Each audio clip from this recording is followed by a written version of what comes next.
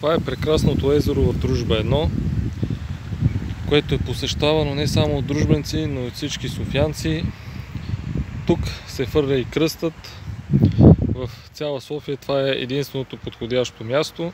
От нас зависи да запазиме тази природа, а да не позволиме на кмета Ивайло Цеков да застрои всички зелени площи около това прекрасно езеро.